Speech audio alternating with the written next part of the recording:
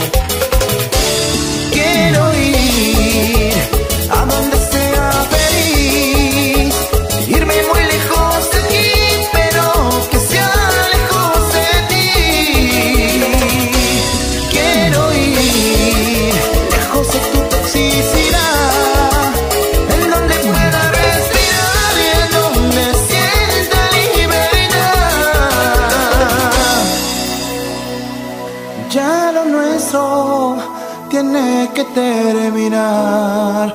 Te lo digo de verdad, porque ya no aguanto más. Oye Cristian,